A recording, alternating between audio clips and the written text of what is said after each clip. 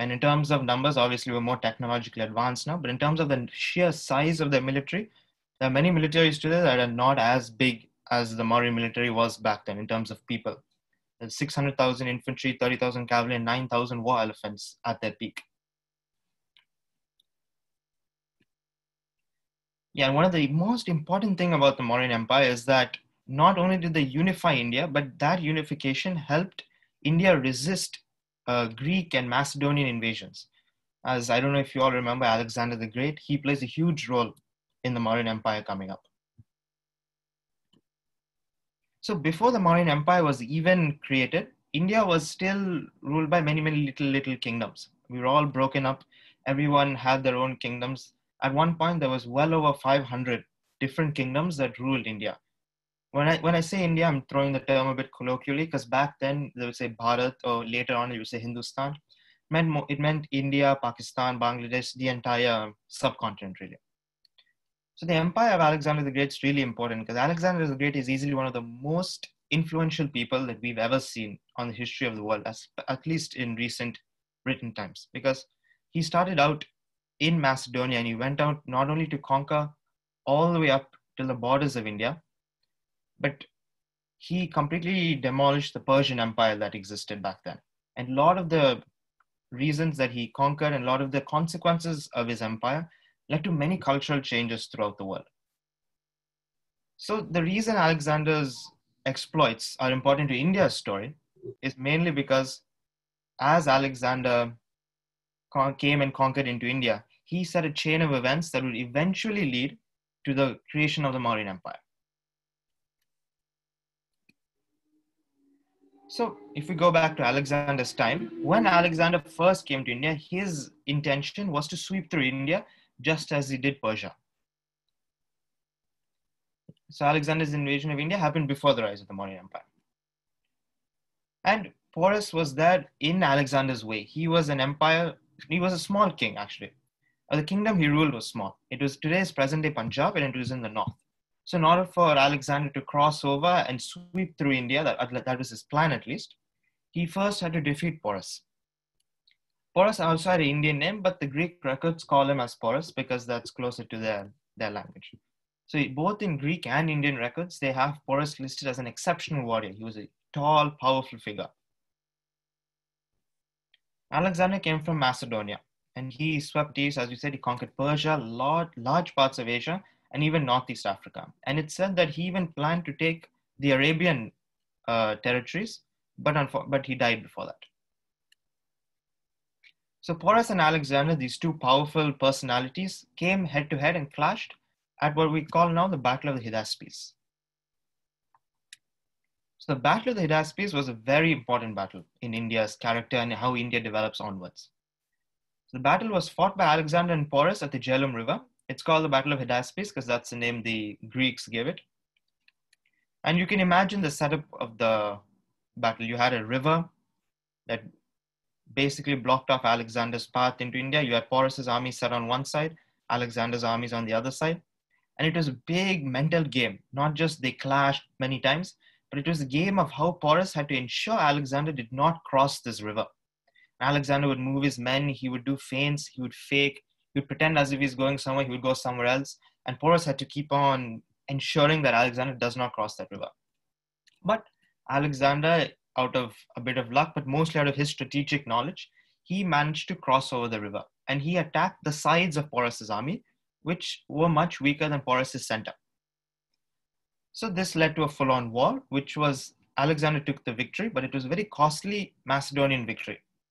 And it was said that when Porus was fighting in this war, he was fighting till the last man. His intention was to die fighting. So then the Greek soldiers came and told Alexander that, look, this guy, he's not, he doesn't, he's not stopping.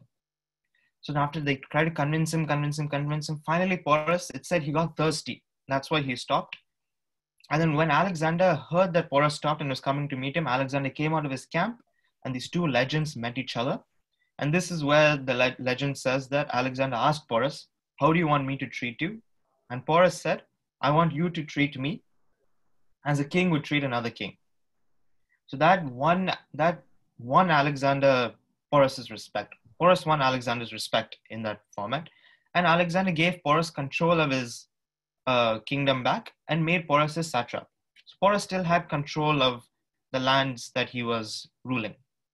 That's how Alexander maintained his huge kingdom. He would place people to rule on his behalf because obviously there was no telephones and stuff to maintain such a large kingdom as we saw before. Alexander's kingdom stretched all the way from Greece and Europe to India and he swept through the entire uh, southern, southwest part of Asia. So Alexander's army actually mutinied because Alexander's intentions wasn't just to stop with Porus. As, as we said, he wanted to take all of India. So there's a message here that was written, a historical writing that says that after the struggle with Porus, the Macedonians' courage was blunted and they heard rumors that this was just a small kingdom and there was a larger kingdom that was at wait ready for them to come in. So because Alexander had to give in to the wishes of his uh, soldiers, and his soldiers were tired after a long struggle. They went all the way from Greece and they came all the way to India. They had to fight their way through some of the most powerful empires of the time. So therefore, Alexander turned back, and the territories he had stayed under Greek control for a while. So now, what was this empire basically that scared Alexander, not Alexander, scared his men to the point in which Alexander was forced to leave? This was the Magad Empire, which was ruled by the Nanda dynasty under a certain figure that's important coming up is Dhananand. Yeah, and Alexander left India and on his way back to Macedonia, he died in Babylon.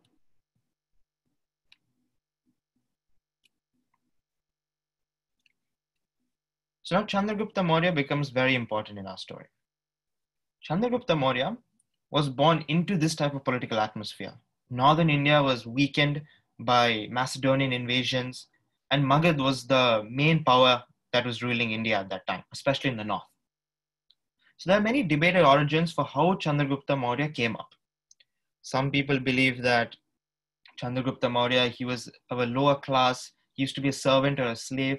Some people believe he was a warrior, he was part of a warrior class of the Pipalivan warrior class, but they had fallen on hard times, so therefore he was he didn't have the power that he usually would have had. And I said Chandragupta looked up to Alexander the Great a lot. In India, Alexander the Great is sometimes called as Sikandar, as like the conqueror. So Chandragupta took a lot of inspiration from Alexander the Great's conquests. And the story about Chandragupta Maurya cannot be completed at all without the story of Chanakya, which we'll also talk about, one of the greatest and most intelligent minds we've ever seen come out of India. So Chanakya resided in Takshashila, which was a well-renowned, world-renowned university at the time. And Chanakya, upon seeing Alexander the Great's invasions into India, realized that India needed to be united in order to resist foreign invasions and foreign invaders that wanted to loot India's wealth and India's riches. So that was Chanakya's mission going into it, that Akhand, Bharat mission. He wanted India to be united against political invasions. So Chanakya was also known as Kautilya or Vishnugupta one of the two most important books that he's ever written were the Arthashastra and Chanakya Niti. So Arthashastra was a book mainly for kings, for people of the royal class. It was a book on economics, on statecraft, on politics, on how military strategies to be. Almost anything you would need as a king in that time, he had it. Spies, how to maintain your ministers, how to choose positions for certain people, what type of people to keep around you, how you should attack a certain type of enemy, where you should give up, where you should pretend to give up but do this type of attack. Anything you would need is found in the Arthashastra as a king. And the Chanakya Niti was more for common people. It was for people like you and me. And it talked a lot about ethics. It talked about it talked about how one should live their life according to their professions, according to a happy married life, a householder life. It went on and on and on about ethics for common people. So Chanakya's mission, as you said, was the Akhand, Akhanda Bharat mission. So he went to Magad. As we remember, Magad was the empire that was so huge that Alexander was forced to leave India. So he went to Magad because he thought if he could get Dhananand to join with Chanakya, they, they could join together. With Chanakya's intelligence and an already powerful empire, they could take the entirety of India and achieve the mission of a unified Bharat. But unfortunately, when he got to Magad, Dhananand insulted him. He insulted Chanakya. He insulted Chanakya's intelligence and he completely dismissed the idea of a unified India. Because if you think in that time, India was kind of like Europe today, where there's a variety of different types of people. Uh, for someone else, we all look the same, but there's different languages, there's different cultures, there's different variations in religion, and on and on and on. So Dhananand felt it was impossible. This is a stupid idea. He completely dismissed the idea and he said, yeah, I'm already a king of a really powerful empire. So he saw no need in it. So legend says that this, when Chanakya was insulted by Dhananand, he took his lock of hair and usually it's tied. So he untied his lock of hair and he swore that he will only tie his hair back once Dhananand is defeated and Chanakya sees his end. That was the conviction of this man. He was sitting in the courtroom of one of the most powerful kings of India and he told him on the face that by his honor that he was going to ensure that he he'll finish his story. And then there was a story that Dhananand tried to capture him, but Chanakya escaped. And then Chanakya had to go on the run for a while. So now the big story of how our two characters meet, Chandragupta and Chanakya. So Chandragupta was said to be playing in a forest with his friends. He was a young, he was a young chap. He was playing in the forest with his friends, and Chanakya was passing by. And legend says that Chandragupta and his friends were playing a role-playing type of game that kids typically play, where Chandragupta was the king, and all his friends would come with their people. And back then, how today we have like the executive, we have the president, and we also have the judicial, we have the Supreme Court. Back then, the king had power over both. The king was also the judge, and he had judicial powers as well as executive powers. So Chandragupta was the king, and they were they were playing this make-believe game. And Chandragupta was basically solving the problems of his uh, fellow classmates, his fellow friends. So Chanakya saw and he saw the ingenious ways Chandragupta's mind was already tuned towards politics, how he was handling the situation, how he knew the right decision to make at a young age without any training or whatsoever. So that's how Chanakya felt that he was going to take Dhananandan, he was going to unite all of India, and he was going to put Chandragupta as the king. So this is how Chanakya took off with this concept of a unified Bharat and how Chandragupta eventually joined Chanakya in this mission.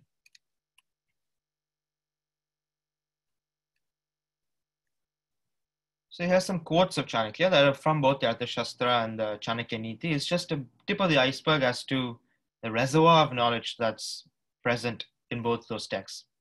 One is even if a snake is not poisonous, it should pretend to be venomous.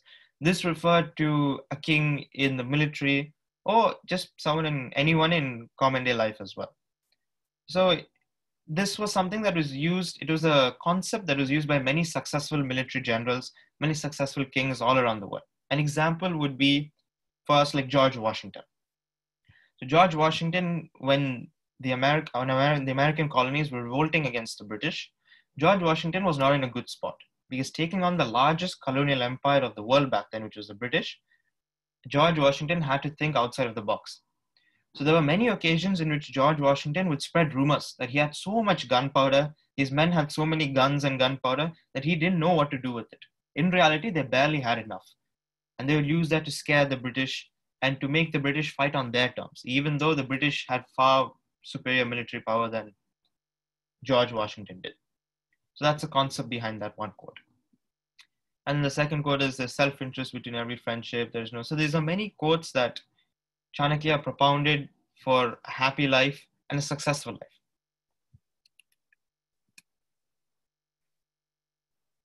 And then they had their campaigns against Dhananand. So now Chandragupta Maurya and Chanakya have joined together, and now they've started their mission of taking down Dhananand and replacing his power, his power with the Mauryan Empire. Essentially, they want to decapitate the head of the current Nanda government. And obviously, this empire, as you can see, is a huge empire. Today, it would stretch, it covers Bangladesh, it touches even Myanmar, all of Nepal, and even into Pakistan, and a good amount of northern India. So it was not a force, it was not a small force, it was a force to be reckoned with.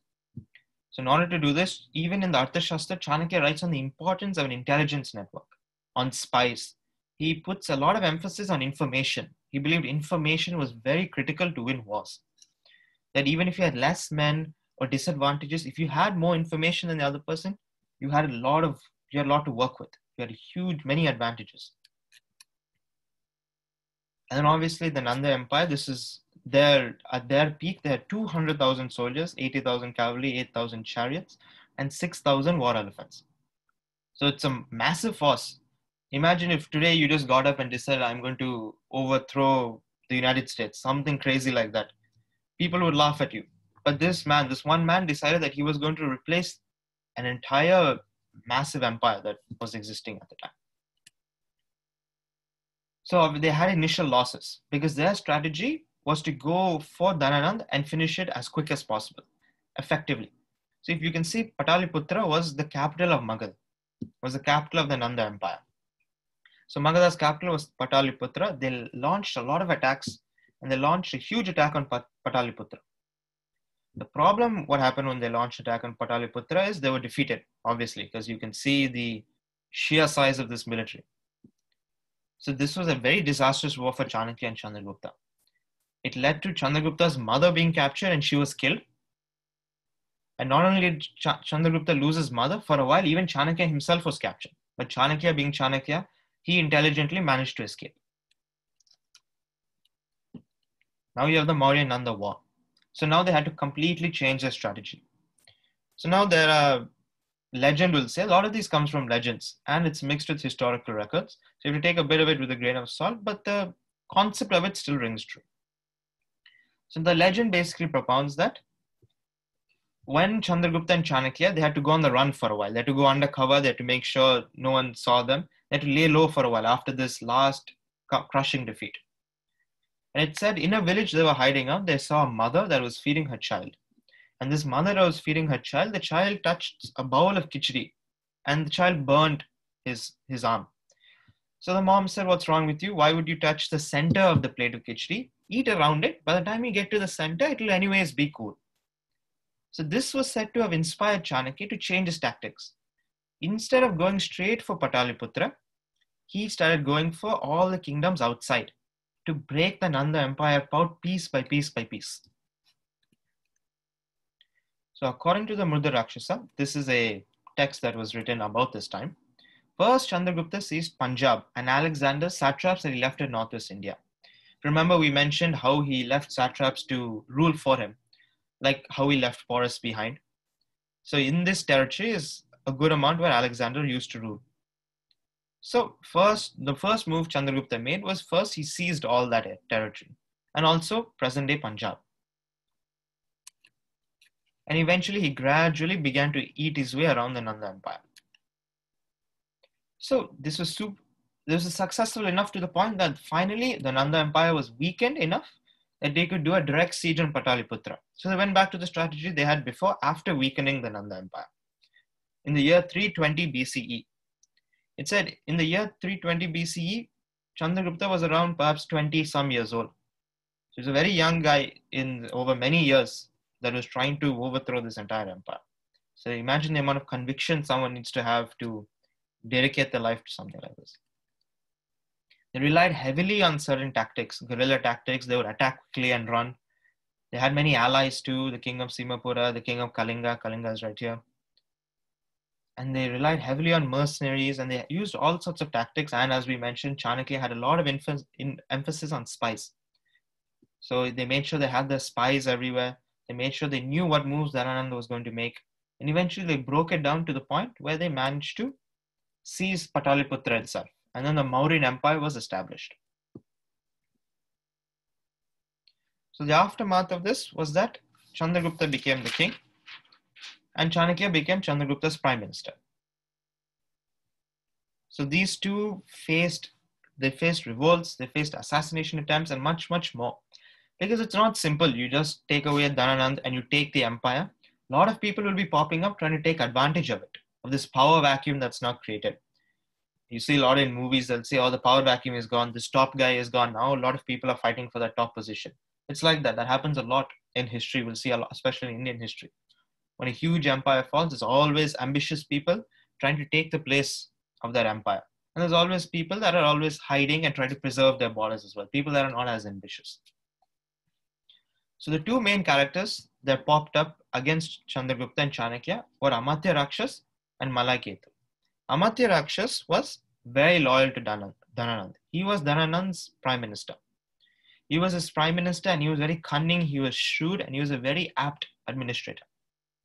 Malaiketu was a ruler in the north in India that Chandragupta took help for, but due to some squabbles, Malaiketu broke away and he demanded Chandragupta give him a lot more territory and Chandragupta was ready to give him. So this way Amatya Rakshas and Malaiketu found each other and joined by the hate for Chandragupta and Chanakya, they started revolting against the Mauryan Empire now. So the way Chandragupta and Chanakya dealt with this was incredible. It was a it was a sheer display of Chanakya's incredible strategy and his incredible intellect. So the first thing they did was Chandragupta and Chanakya pre- pretended to have a fight with each other, and they pretended to break apart. Chandragupta re- threw Chanakya out, and then they stripped him of his role of a prime minister. And Chandragupta said, made sure everyone could hear, because news spreads a lot when the king and the prime minister are fighting publicly. Chandragupta said, You are no longer my prime minister. If only Amatya Rakshas, I could have him, I would rather have him be the prime minister than you. So they faked this whole argument. After faking this whole argument, Chanakya's spy network, once again coming into play, Chanakya's spy network made Malaiketu to believe that Amatya Rakshas was now going to join Chandragupta since Chanakya was out of the picture. So because of this, Malaiketu and Amatya Rakshas had an actual rift between them. As Chandragupta and Chanakya pretended to have a rift between them, their plan led to Malaiketu and Amatya Rakshas turning away from each other. Then after that, they Chanakya and Chandragupta, now that they've split their enemies apart, they did the tactical divide and conquer idea. They went against Malaiketu, and what they Chanakya's spy network again made Malaiketu now believe that five allies, that the five allies that Malaiketu was relying on in order to revolt against Chandragupta, he made Malaiketu believe those five allies were actually working for Chandragupta.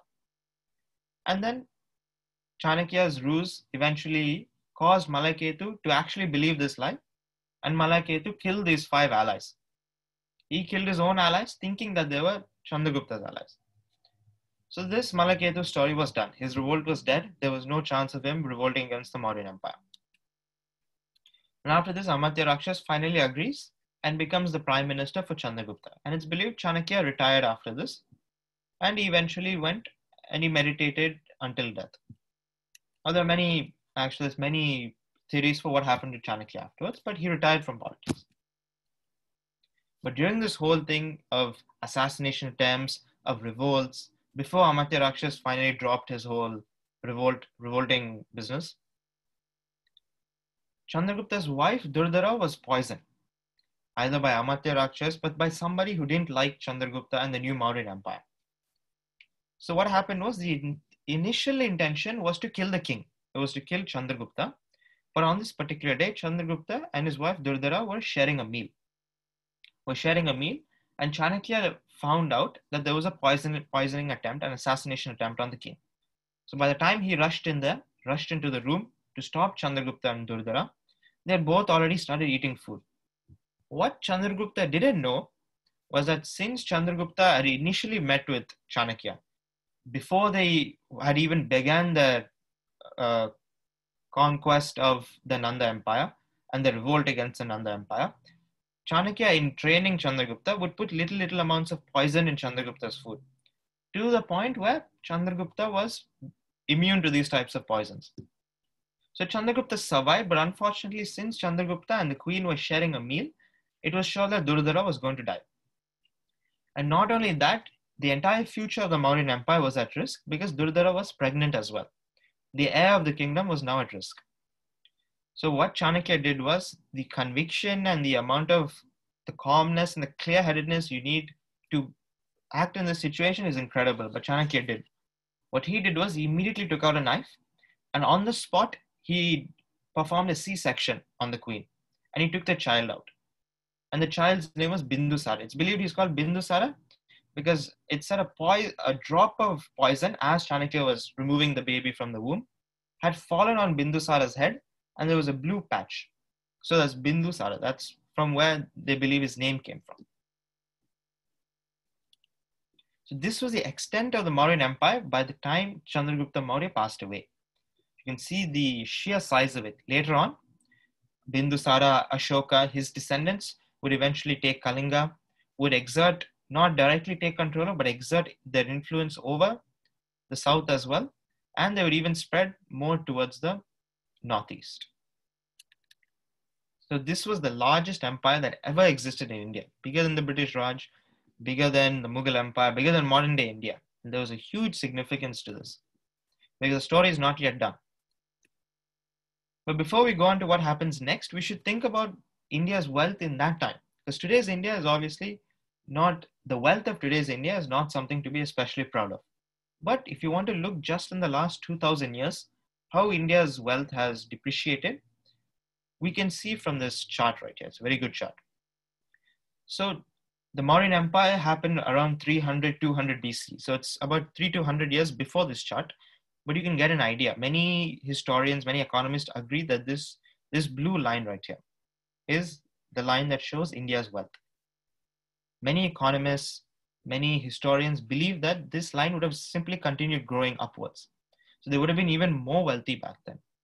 For context, today's United States has about 20% of the world GDP. GDP is a way of measuring the economic economical wealth of a country.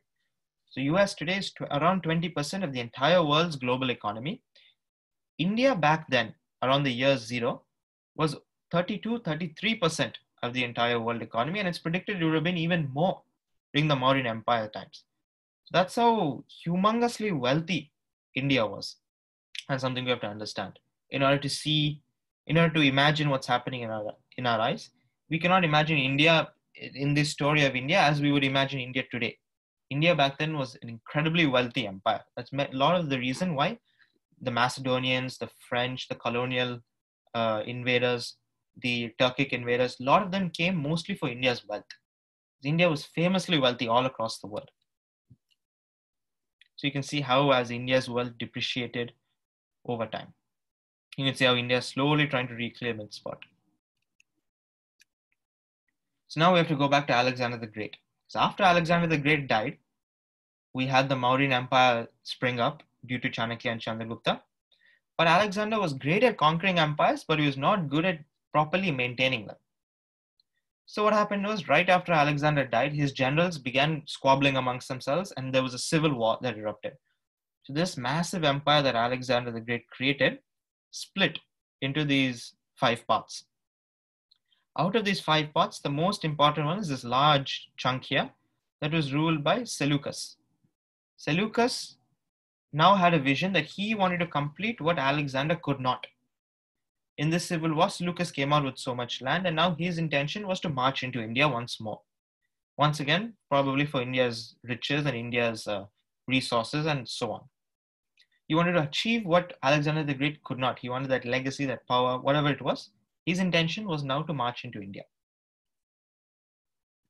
This was the exact reason that Chanakya had this idea of a united India, of a united Bharat, and that came into play here. Because obviously, in order to invade India, you have to deal with the one sole superpower of India, which was the Mauryan Empire, which, following now, results in the Seleucid Mauryan War. The Mauryan War, the Mauryan Empire was led by Chandragupta and Chanakya, the Seleucid Empire was obviously it was run by Seleucus. This was a war between them two. So you can see what historical predictions, what they predict, how the number of how how many soldiers each of them had. Mauryan Empire was planned to have a lakh of infantry, 100,000 infantry, 30,000 cavalry, 9,000 elephants. The Seleucids were said to have 250,000 infantry.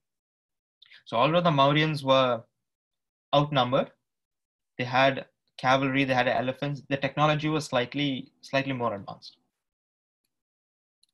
So in this war, as we mentioned, Seleucus wanted to retake the previous Greek satrapies under Mauryan rule. If you remember, when Chandragupta revolted against Dhananand, he took Punjab first, and he took those previous Greek satrapies that were under that were under the rule of the, the previous Greek satrapies that Alexander left behind.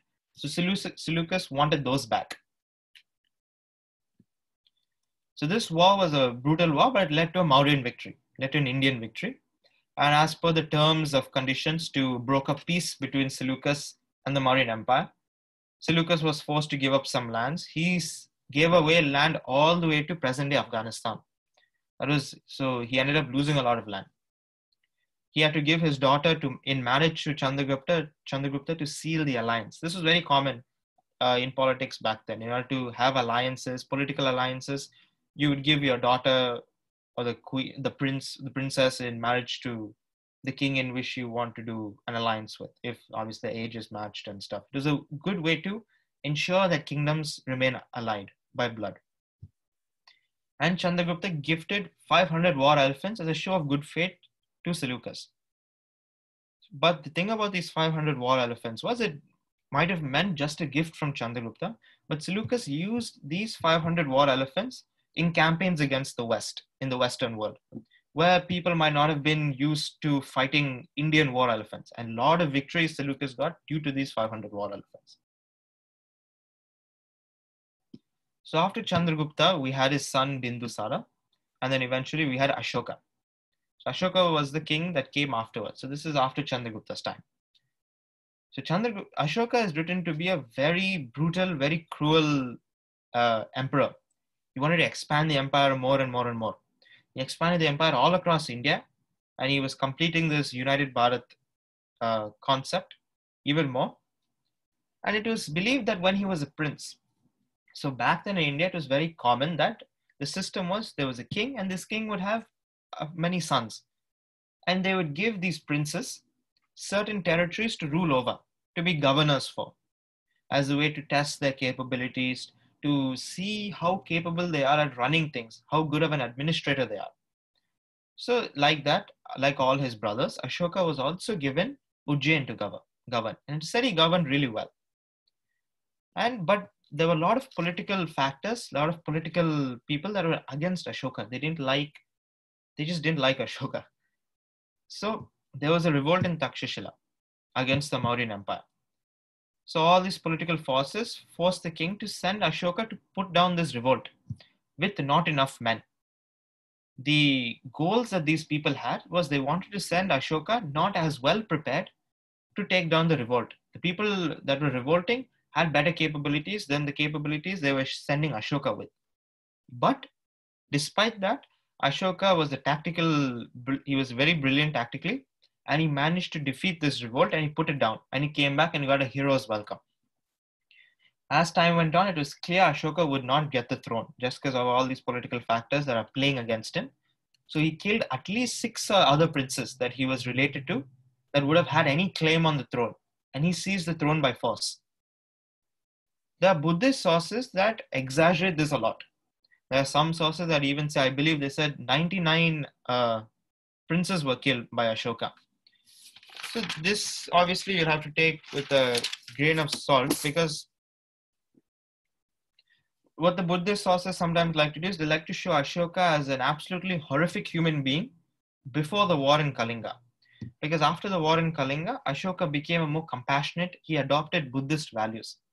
So it suits a certain narrative by showing Ashoka as a really bad person before, and he just became an enlightened, great human being after adopting Buddhist values. But don't get me wrong, Ashoka was a very cruel, he was a very brutal type of person and a type of king. And he did completely radically change after adopting Buddhist values and witnessing the carnage of the war of Kalinga.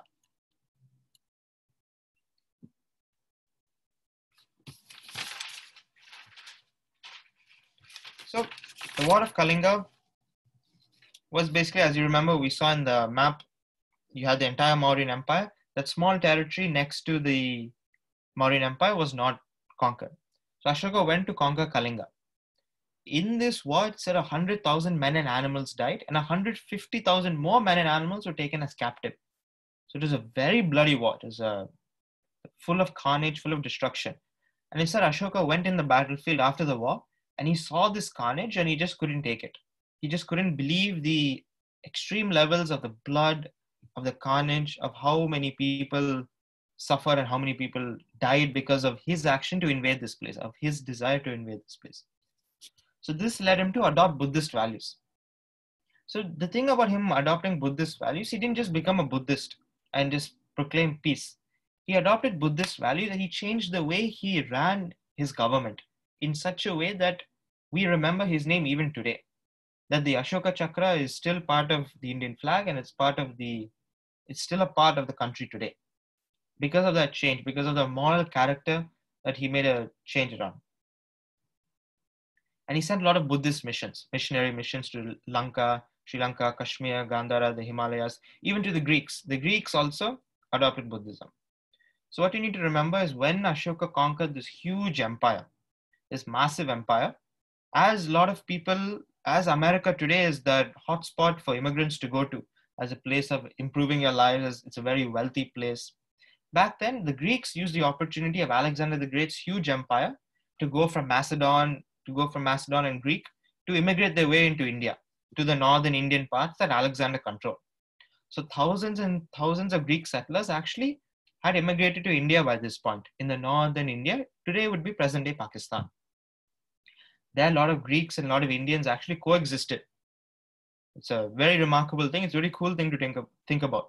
Thousands of years ago, there were swaths of land in which Greeks and Indians lived side by side and their culture developed together. Yeah, so they sent all these missions everywhere. So, but like all empires usually do, the Mauryan Empire also fell into a decline. The Mauryan Empire lasted for a little over 100 years, 130 plus years. But there, there are multiple theorized reasons following Ashoka's rule. There was already a decline, which was eventually stopped, and the Mauryan Empire disintegrated, which we'll get to. There was a lot of financial strain on managing the empire and the military.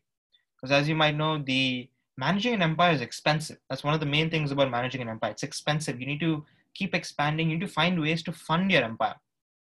So once Ashoka took more peaceful measures, it's believed that the army was not being used as much as it should have.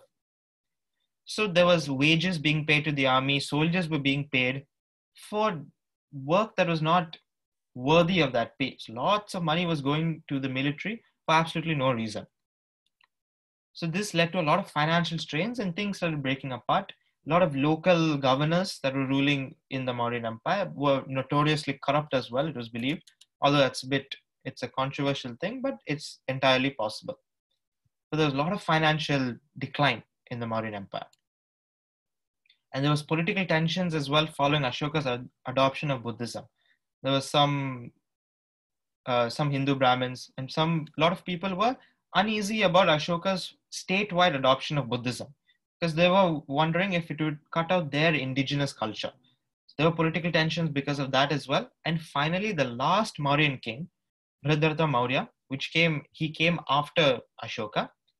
One day he went to see his military for a military uh, inspection to see his army. So when he was seeing, when Pushyamitra Shunga was showing the last Mauryan king his army, Pushyamitra Shunga was the general of the Mauryan Empire back then. So the general assassinated the king and seized power. And the Mauryan Empire disintegrated. And there we have this Shunga Empire that popped up in its wake. So now we go on to the Shunga Empire, which lasted for about 110 years. So, as we've seen the backstory between the backstory between um, what led to the Shunga Empire, we had Ashoka's rule, Mauryan Empire declined. Eventually, Pushyamitra Shunga killed the last Brihadartha Maurya, the last Mauryan king, and seized power. The entire Mauryan Empire disintegrated because something that devastating happens when the king has been assassinated and somebody else has taken power. Many people, as, as we said, when empires collapse, many people take opportunities to pop up.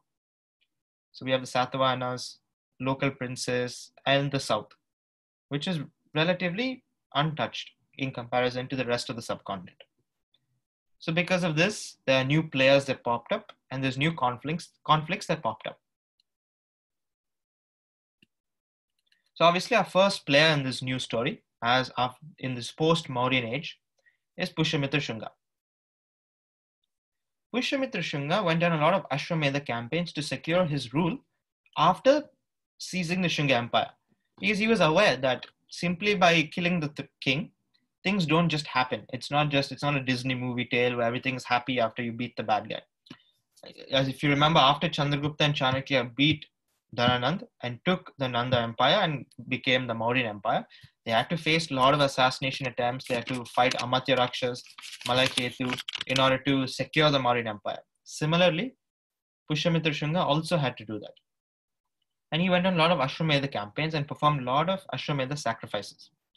So the Ashwamedha sacrifices are even mentioned in the Mahabharata times. They were done by Yudhishthira. So a general grasp of the sacrifices, you have a there's rituals performed, and you have a horse, a horse that will essentially run around of its own accord, accompanied by the soldiers of the king who is performing the Ashwamedha campaign. So now we have these horse, you have this horse running around the, just running around every kingdom. So the horse doesn't know boundaries and all. So it'll go in other people's kingdoms, other people's territories. Other kings will be aware that this, this fellow, this king is doing an Ashwamedha campaign. So now let's say you send, you perform an Ashwamedha campaign and your horse runs into my kingdom. I now have a choice. I can do nothing about it. If I do nothing about it, symbolically it means that I have submitted to your dominance, to your rule. However, if I want to challenge that, I can go and kill the horse or I can capture the horse. And there'll usually be a war that follows. So the thing about Ashwamedha campaign, it's very easy, it's very effective. You don't have to have negotiations with kings. You don't have to threaten war and all this. Simply you send a horse and based on the other king's reply, things either you either take the control of that territory or you don't. So it's a very efficient way of expanding your empire. So Pushyamitra Shunga did this in order to secure his borders, to make sure he doesn't just fade into oblivion after assassinating the last Mauryan king. And this was Ashwamedha campaigns were done many, many times by a lot of ambitious people in ancient times, thousands and thousands of years ago. But in the last 1000 years, it was only done twice. And it's a big establishment of sovereignty, especially amongst Hindu kings. And there was controversy on Buddhism with Pushyamitra Shunga. Now, this is contested by modern historians and Buddhist sources. Buddhist sources say Pushyamitra Shunga was a huge persecutor of Buddhists, that he had um, rewards given for the amount of Buddhists you'd kill. And he had and he ordered many assassinations and many killings and burning down monasteries and certain not good things.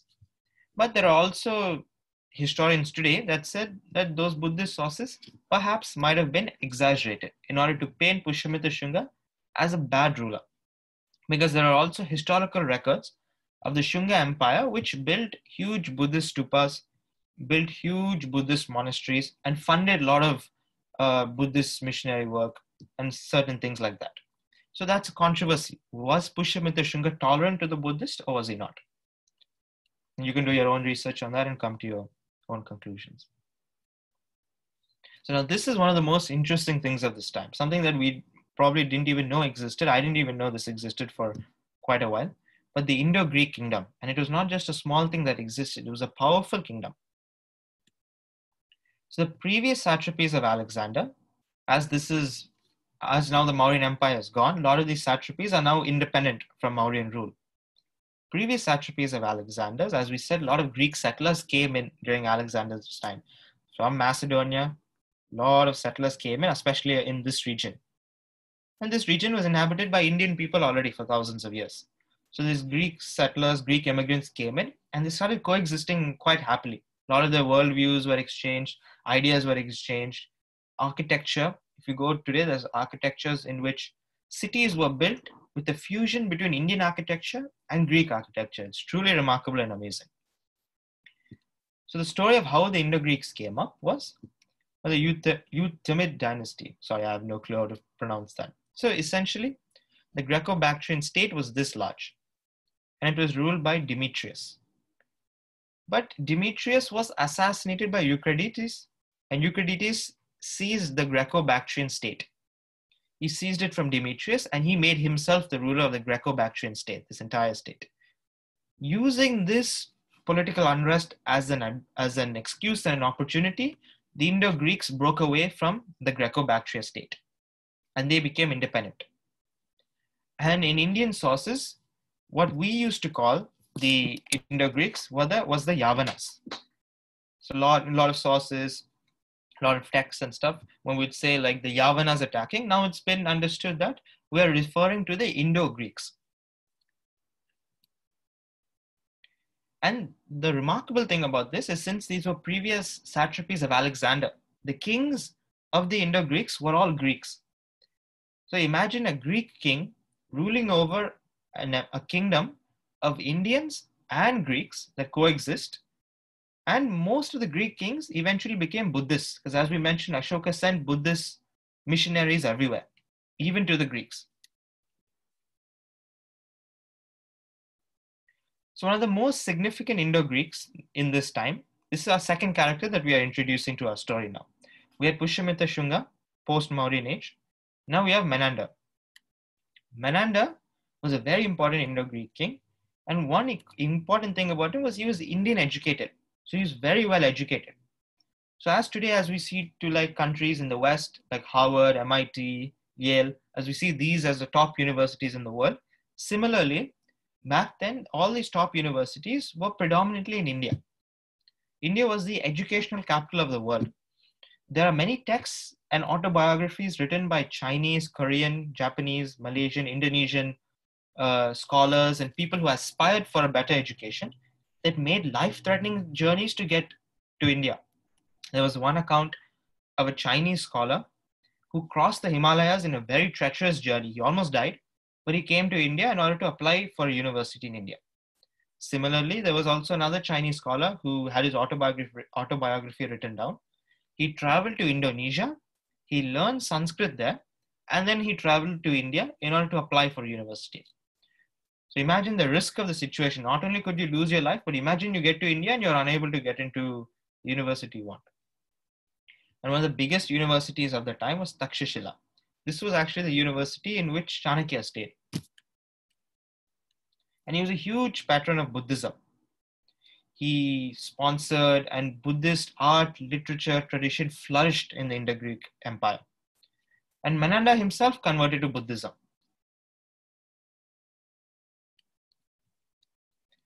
So in the Indo-Greek kingdom, Greek and Indians coexist, as we said, their worldviews, their beliefs, their opinions. And today in Sagala, which I believe is in present-day Pakistan now, you can see a fusion of Indian and Greek architecture. Sagala was the, the capital of the Indo-Greek kingdom. And you'll find the coins of the Indo-Greeks, one side will be written in Greek, the other side will be written in Pali. So now we have a new conflict the main battles between two of the large and important empires of this time, the Indo-Greeks and the Shunga Empire. Menander took, Menander took the opportunity to now invade India. In order to invade India, the first kingdom he went for was the Shunga Empire. His goal was to push into the capital itself, like many others have done before, as we've mentioned, into Pataliputra itself, the Shunga capital. So now we have our two main figures that were rivals of each other. There were two political rivals and they went to war. It was the Shunga Empire trying to preserve its border sovereignty and the Indo-Greek kingdom trying to expand its borders across the northern sphere of India.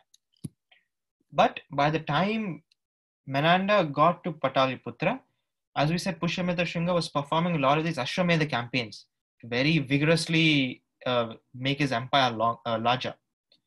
So Pushyamitra Shunga managed to push Menander back. So Menander pushed into the Shunga Empire, but Pushyamitra Shunga managed to push Menander back, and Menander didn't get much territory in India. An important battle was the battle on the Sindhu River, where Vasumitra, Vasumitra is the grandson of Pushyamitra Shunga.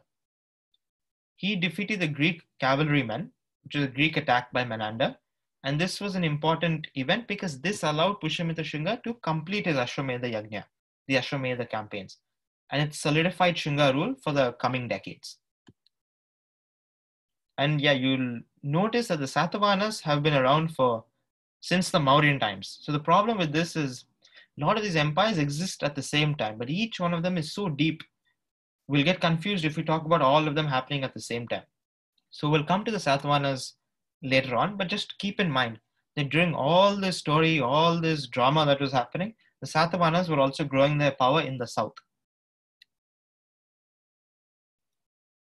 And there was a lot of significance of the Shunga Empire as well. A lot of art, education, philosophy, architecture flourished, both Hindu and Buddhist uh, counterparts. As I said, as we said, Buddhist stupas, Buddhist monasteries, they were also built by the Shunga Empire. This, the Shunga Empire established the practice of royal powers sponsoring art and education. So the government became involved in sponsoring artists, musicians, and these uh, the arts of education, and they became very involved in these spheres of public interest. They were sponsoring art. If you are an artist, you could be sponsored by the government. So this allowed Indian art. It established a tradition that the coming empires would also adopt, where you would sponsor the artist in your kingdom in order to make the cultural importance of your kingdom go up. There were a lot of developments in Hindu thought and literature, particularly. And like always, there was a decline in the Shunga Empire following Pushyamitra Shunga. And the Shunga Empire lasted for around 110 years, which is about 20 years less than the Mauryan Empire did. The Indo Greeks also declined, but they fell far after. You can see they used to have this entire territory, but now they only controlled about this much. Eventually, that too would go around 10 AD. So they would last for a couple hundred years more. And as in a form of karmic, uh, form of karma, I guess, as Pushyamitra Shunga killed the Mauryan king to seize power, similarly, Devabhuti, who was the king of the Shunga Empire, was assassinated by Vasudeva Kanva and the Kanva dynasty was established. Kanva dynasty we're not going to go into because they, the Kanvas were not able to hang on to their empire as well as the Mauryans and the Shungas did. They fell apart in 45 years. And now we go to the Satavahana Empire, Satavahana dynasty, which lasted for three to 400 years, which is longer than the United States has lasted up till this point. They existed parallelly with the Shungas, the Kanvas, the Indians.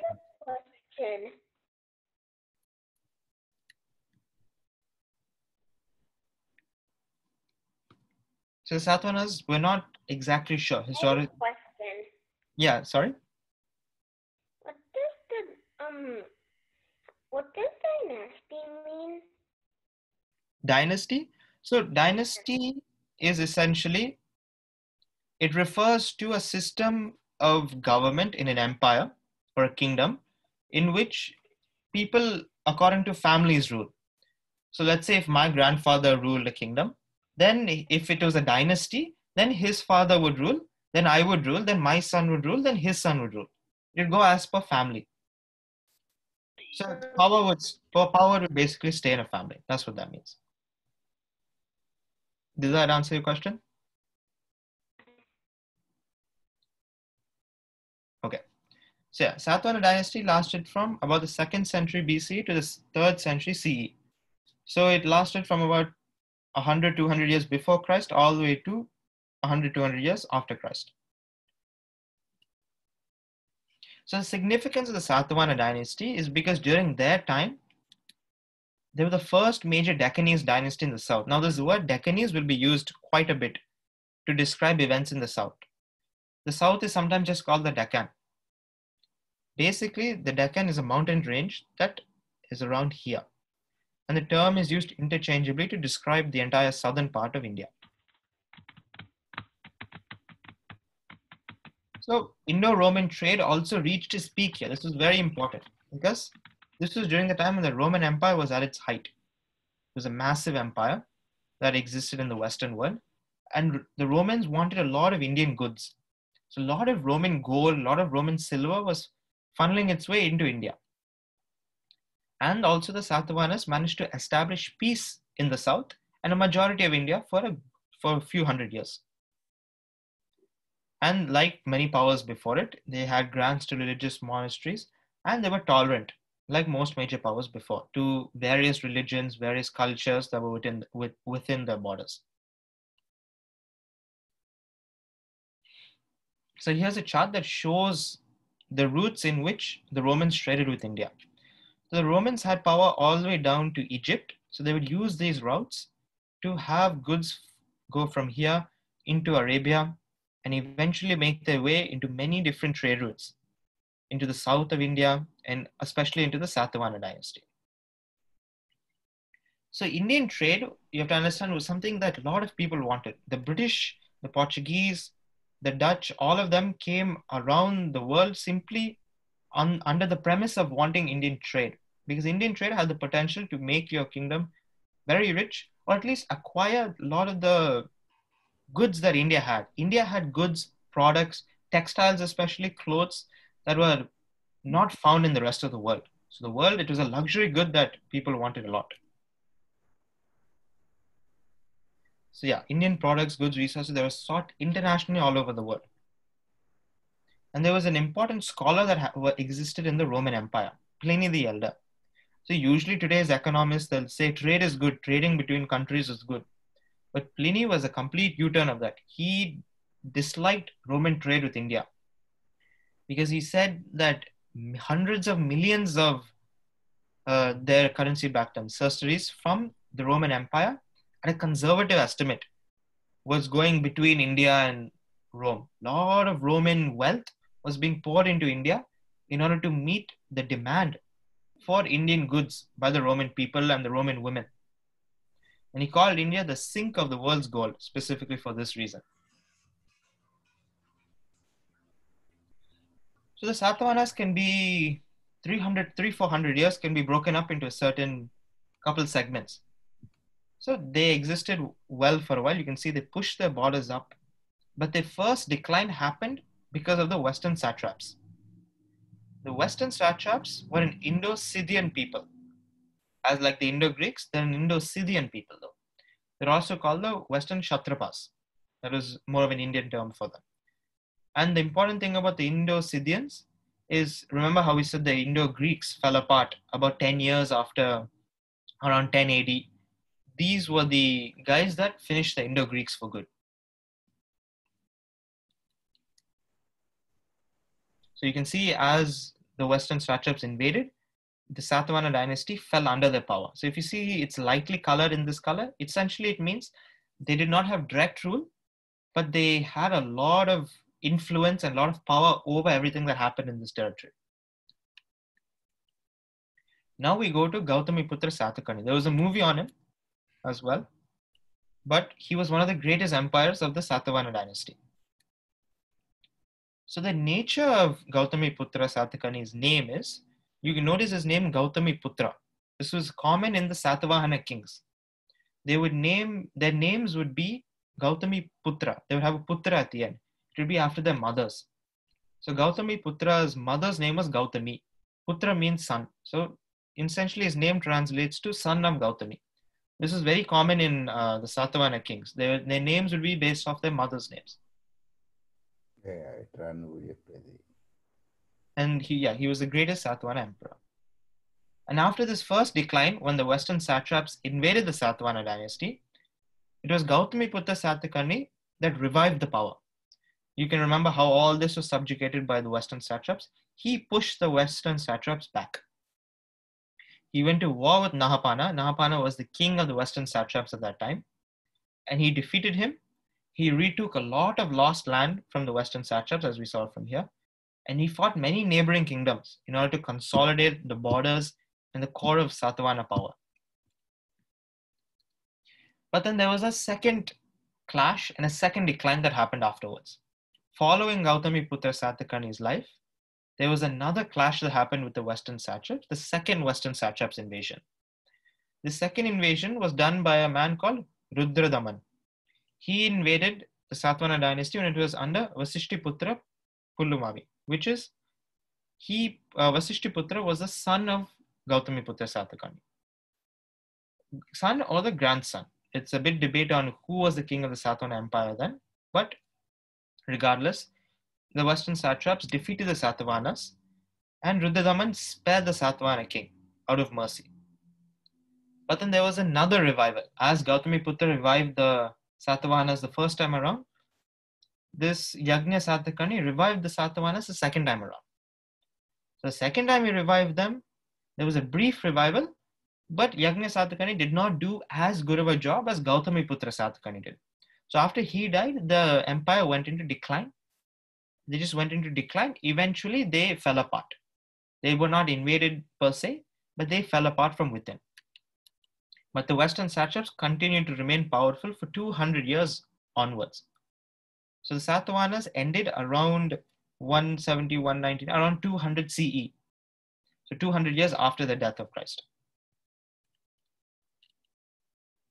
So that's the time frame in which we're on. So you can see this is 450 CE.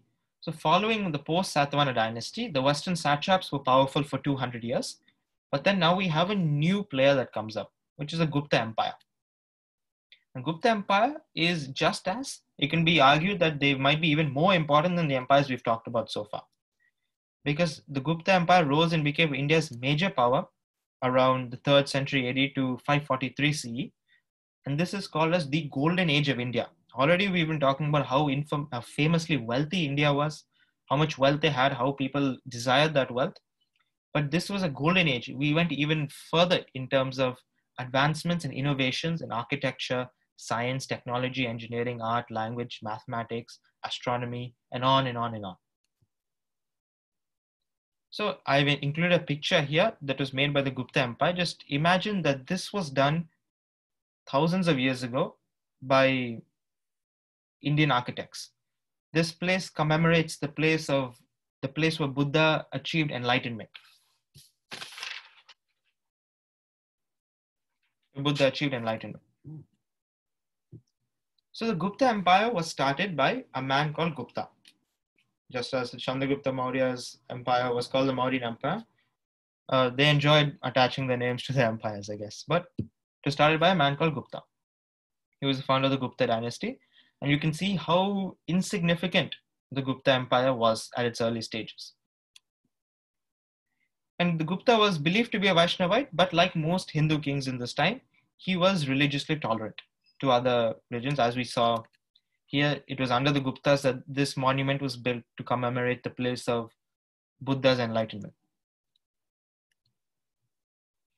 And he built this temple for Chinese pilgrims. I'm not even going to attempt to pronounce it. There's also a Chinese name for this, which for sure I cannot pronounce. Uh, but it's a glorious temple that was built for Chinese pilgrims. So it shows India and China also had a lot of uh, trade, they had a lot of connections, cultural connections, mostly because of Buddhism. So now we are going to talk about one of the greatest conquerors that ever lived in India, Samudragupta.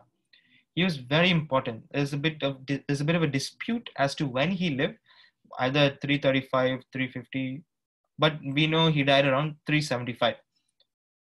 So it's believed that he was born around 335, he took power around 350. Regardless, uh, we, we don't know. Historically, we have no idea.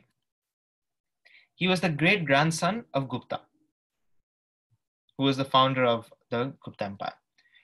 And colloquially, especially in European context, he's called as the Napoleon of India. Although suppose we should call Napoleon the Samudragupta of France, because not only was Samudragupta alive thousands of years before Napoleon was, but unlike Napoleon, Samudragupta was undefeated in battle. Samudragupta spent a big amount of his life fighting war after war after war, and he didn't lose a single one of them. And he too performed the Ashwamedha sacrifice. So you'll see this as a bit of a trend, and to make your empires, to make your empire's desires to fit your ambitions. If you're a very ambitious person and you want your empire to expand, and you feel you have the means to do that, a lot of people went ahead with Ashwamedha sacrifice. And another thing that's mentioned is he was a very accomplished poet and a musician. He could play a variety of musical instruments, and he was a very accomplished poet. Here's a coin that was been excavated during his time. So this portrays uh, Samudragupta in a very majestic form. And he aspired to become the Chakravartin, or the ruler of the entire Indian subcontinent. That was his aim, that was his goal. So this picture itself highlights the importance, the significance, and the achievements of Samudragupta. This was the empire at which when Samudragupta took the reins of the empire, and by the time he died, by the time he died, within just 40 years, he managed to turn this into this massive empire that stretched all across India. And at this point, the Western satraps were very much weakened by the Gupta Empire, and they were just existing kind of at the mercy of the Gupta Empire. So you can see how today's Kashmir, all the way until today's Pakistan, Bangladesh, Nepal, and down south as well. It's all been taken by the Gupta Empire. And now afterwards, we have the son of Samudragupta, Chandragupta II, which thankfully was as capable as his father. Because we'll see many times in history, just because a historical figure was great doesn't necessarily mean their sons or their sons were great. But luckily for the Gupta Empire, Chandragupta was just as capable as Samudragupta was. So Chandragupta, there's no relation to the Mauryan Empire, Chandragupta Maurya. That's one thing we should remember. Chandragupta II is, there's no relation between the two. Chandragupta II happens hundreds and hundreds of years after Chandragupta Maurya. Now, Chandragupta II continued the military expansion of his father. Samudragupta wished to rule all of the Indian subcontinent. Chandragupta kept that vision going, that dream going. And one thing Chandragupta did, one of the most significant things he did, was he crushed the Western satraps. Because if you remember, we mentioned that even though the Satavahanas declined, the Western satraps continued 200 years after that. This was the end of that 200 years. And not only that, he had influence over the Vakataka dynasty as well, because his daughter, Prabhavati Gupta, was a queen of the Vakataka dynasty. So, therefore, just because of that political alliance, indirectly, he had a lot of say in Vakataka politics. He had a lot of say in southern politics. So, you can see here. So, as we mentioned before, this lightly shaded part is places the Gupta Empire did not have direct administrative control, but they had an incredible amount of influence. So he solidified, Chandragupta solidified that power. Instead of just being under influence, he made sure all these areas were directly under the control of the Gupta Empire, and he even expanded the Gupta Empire's influence on the northeast in Assam. And in Carnatic as well, he influenced, he increased the influence and the power of the empire in the south. And as we can see, these western satraps were completely crushed by the Gupta Empire. And this was the empire I mentioned, the Vakataka dynasty, that Chandragupta's daughter was a queen of. So therefore, just by that relation, Vakataka politics could be tilted in a certain way by the mercy or by the decisions of Chandragupta. So in a way, he had influence over this entire entire piece of India. So a few innovations that happened because of the Guptas is chess. Obviously, chess is a huge innovation that uh, spread from India all over the world. And we have the Sushruta Samhita. The Sushruta Samhita, here is a statue we have Sushruta. This statue of Sushruta shows of shows Maharishi Sushruta. He is the founding father of surgery. So one thing you have to understand during this time is, in India, scientifically, India was very advanced compared to the rest of the world. India and particularly Greece. We see Greece as the cradle of Western civilization. India was like that, but in the East. So during this time, in the Sushruta Samhita, Maharishi Sushrut wrote an entire piece, wrote an entire literature on medicine, Ayurveda, and they made innovations on surgery. They didn't discover surgery, they made innovations on surgery. So this means that even before this time, keep in mind this is around 400, 500 C, is when they made innovations in surgery. Even before this, that it's possible that surgeries were happening in India thousands and thousands of years ago. And a lot of it was due to the innovations that propelled that science forward by Maharishi Sushruta. And Aryabhatta was obviously a man that at least should perhaps be familiar to us. He made many advancements on astronomy. He studied solar and lunar eclipses. So we all know the big story of how the West, the church had to come in terms in the West thousands of years from now with the fact that the earth is not flat but it's round. Then you had uh, Copernicus, you had uh, Galileo. They all had to fight and they were all persecuted badly by the church for their beliefs that the earth was round. But during this time, it was already mentioned in the Rig Veda that the earth was not flat, but it uh, propounded that it was round. But Aryabhatta built a lot off of these theories. Aryabhatta went on and he said that the earth is not only round, but the sun is in the center of the solar system, which was a theory that was already mentioned beforehand, But Aryabhatta corroborated with it. He said the sun was in the center, and on not on top of that, he said the Earth not just re- didn't just revolve around the sun, it revolved on an elliptical orbit. So if you know the Earth doesn't just revolve like this, it revolves on a tilt, a tilt on the axis. So somehow, thousands of years ago, Aryabhatta made advancements on the fact that the Earth not, was not only round, but it had this type of elliptical orbit, and also on solar and lunar eclipses. He had a lot of studies done on solar and lunar eclipses, talked about the effects of those, how those are formed, how habitually they happen, and on and on and on. Also, during this time, it's believed that zero might have already been invented, but it was popularized more. So there were a lot of mathematical inventions that grew on the foundation of India's invention of zero. And on top of that, there was a systematic, very advanced creation of a decimal system. Of a decimal system which went on talking about a decimal, basically an advanced decimal system which allowed an organization for the economy, for finance, for architecture, and on and on and on. And it allowed the Gupta Empire to be this cradle for uh, a melting pot of Indian innovations that would differentiate India from the rest of the world when it came to scientific and human overall human development. Because India was advanced in almost every field of study. That was one thing that made India different. There was a huge emphasis placed on research, on continuous research. And the difference between India and the West when it comes to this is to maybe easily understand is in the West, typically over thousands of years, there was a clear distinction between science and religion. And a lot of times those clashed. But in India, a lot of the religious teachers like Maharishi Sushruta and a lot of religious, a lot of saints, a lot of rishis were the same people who made a lot of the scientific advancements due to their austerities, due to their capabilities. They were the ones who made the scientific advancements that spread all across India. And there was much, much more.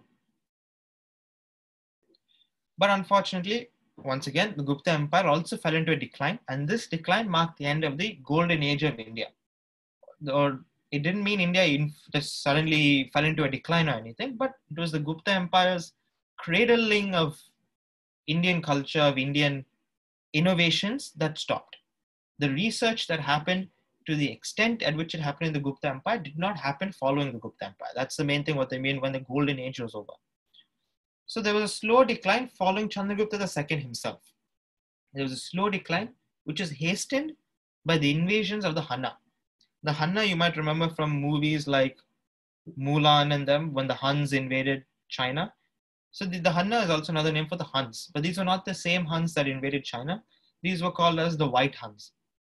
These were like the white Huns that invaded uh, the Gupta Empire. And they invaded the Gupta Empire after the Gupta Empire's uh, big main conquerors and leaders. So the Hanna invaded after Samudragupta, they invaded after Chandragupta II. And the leadership in the Gupta Empire was not as capable as it was under those two main figures. So the Hanna were able to invade the Gupta Empire, and you can see this part used to be, as we mentioned, this like present-day Kashmir was very much under Gupta control. The Hanna broke free, broke free, and they began their conquest into the Gupta Empire. But the, the this led, as you can see, the Gupta Empire has completely broken apart in this first map and the second map. They lost control of many territories all across the north, all across the west, and they lost their influence in the northeast as well, and also the south. The Vakatakas were relatively untouched though, but they also did not survive for long after this period. But after the Hannas invaded and the Gupta Empire fell apart, just like we see over and over again in history, when this big empire falls apart, many ambitious people pop up. One of these ambitious people was the king of Malwa, right here, king of Malwa, which used to be under Gupta rule, but became independent following the Hanna invasions. King Yashodharman of Malwa important thing about King Yashodharman is that he, and it's predicted that the Gupta Empire also helped him in this uh, in this mission, but he waged war against the Huns. He waged war against the Huns, and eventually, he was one of the main reasons why the Huns were thrown out of India.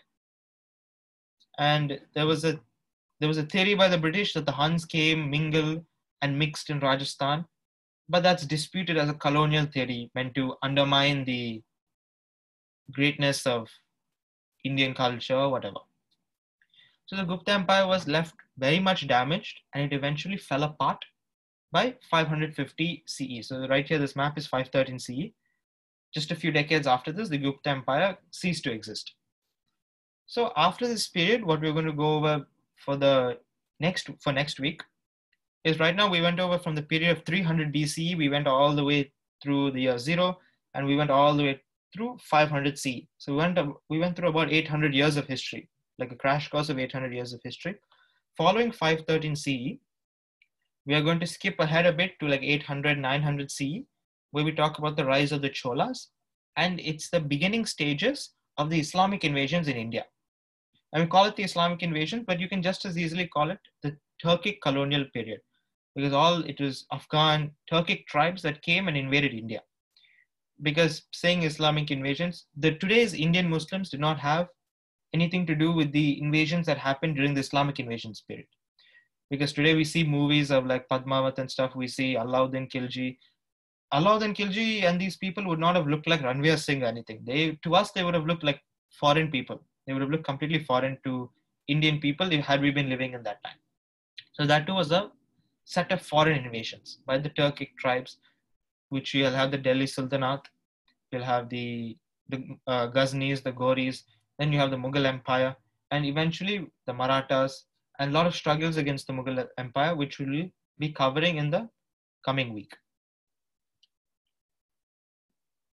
So essentially, yeah. So today, just as a recap of everything we went over, so we had the Mauryan Empire that propped up following Alexander the Great's invasions. Chanakya felt the need to unite India. Chanakya, Chandragupta revolted against Dhananand. They started the Mauryan Empire. Following that, they had a lot of troubles, but they established the Mauryan Empire. Down the line, you had Ashoka's reign. Then you had Pushyamitra Shunga, who assassinated the, assassinated the Mauryan king, started the Shunga Empire, and also the Indo-Greeks that popped up under Menander. Pushyamitra, Shunga, and Menander went to war. And then following the Shunga Empire, then we talked about the Satavahana dynasty. Satavahanas, Satavahanas had war with the Western satraps, with Gautamiputra as one of their greatest kings.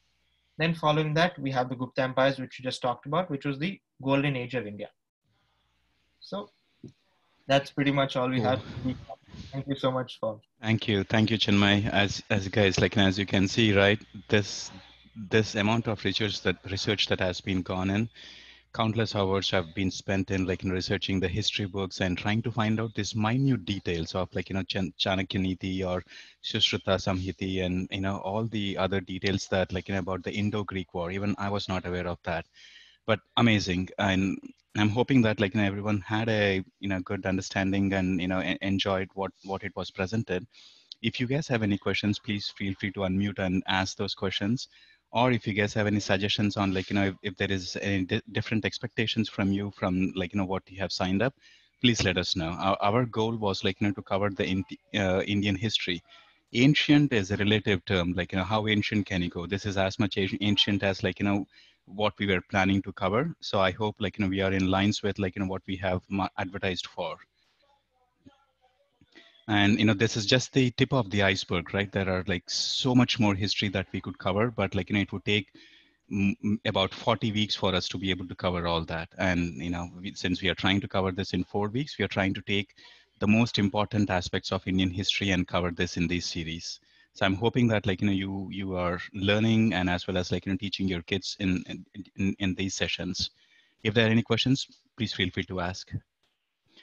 So one question that uh, Ab- Abhiram is asking which empire ruled most of the India? Uh, yeah. Chinmay, you can take that. Yeah. So the empire that ruled most of India is that, I mean, if you go back to the Mahabharata and Ramayana times, you might have other views on the matter. But if you look back to like historical documents in which most historians agree on, it was the Mauryan Empire that ruled most of India. They were one and a half times bigger than the Republic of India today itself. They were bigger than the British Raj and they're bigger than any other contemporary empire. It was a Mauryan empire that was the that was the big empire that ruled India. Cool.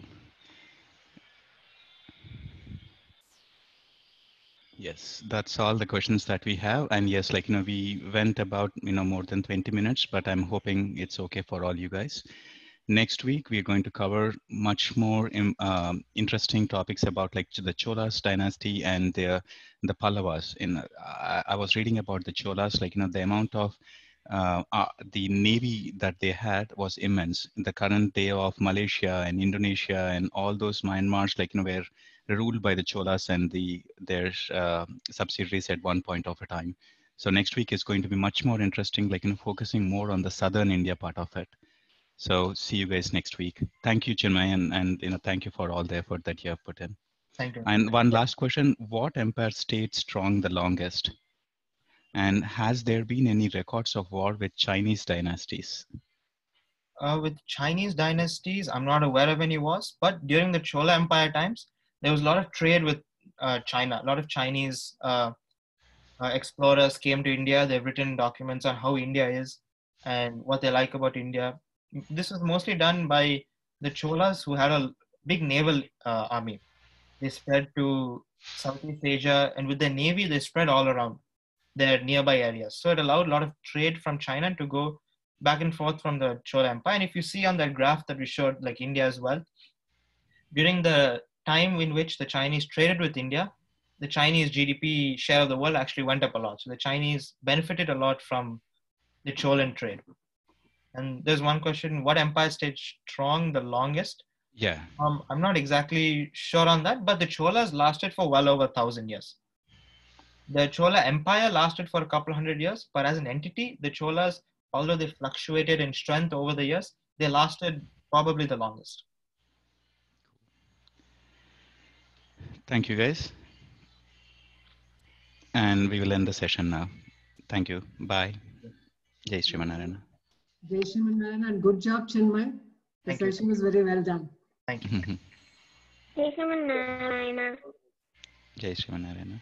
Thank you. Bye. Jai Bye.